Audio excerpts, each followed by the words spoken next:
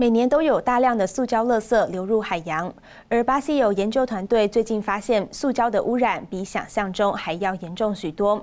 他们在海胆体内看到大量存在的塑胶微粒，而这些海胆却是从公认为干净的海域中采集来的。海边大量堆积的塑胶垃圾，在许多地方已是司空见惯，但在向来认为是干净的卡加拉斯群岛，最近巴西研究团队潜水搜集了海胆样本。在其体内发现遍布密密麻麻、数量可观的塑胶微粒，让科学家感到震惊。Eu me assustei.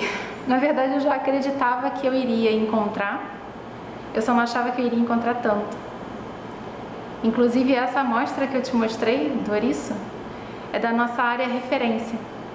A área referência é a área que a gente acreditava que era uma área limpa.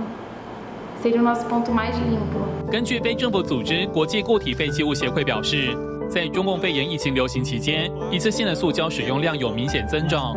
流入海洋中的塑胶废弃物会随着时间分解成细小的碎片，这些碎片最终会进入鱼类和其他生物体内，不自觉中也已危害到人类。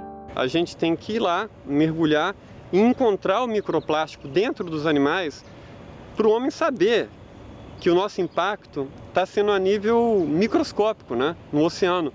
E às vezes esse impacto microscópico tem consequências ainda mais nocivas do que o macroplástico que a gente consegue ver e às vezes até recolher. Né?